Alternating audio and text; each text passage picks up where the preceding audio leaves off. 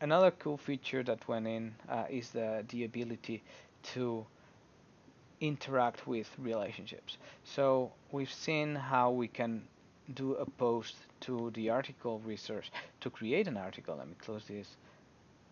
Um, but we can also do is you can do article 11 relationships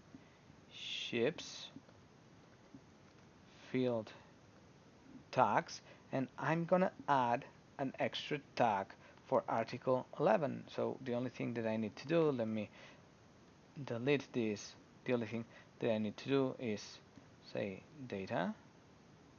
And I'm gonna post a bunch of tags.